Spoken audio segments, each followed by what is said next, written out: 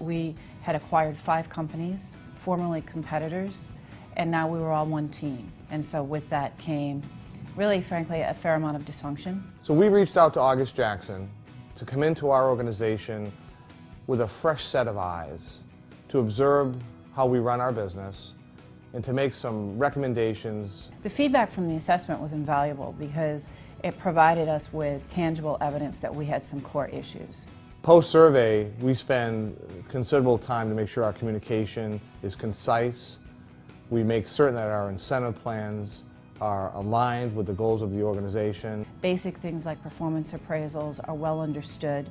Career pathing is far more well understood. Our employees are more engaged. Our quality has gone up. Our customer complaints have gone down. We're certainly more uh, focused on consistent communications, open dialogue, uh, two-way communications throughout the company. The feedback we received from August Jackson was invaluable, and the results are evident throughout our organization today.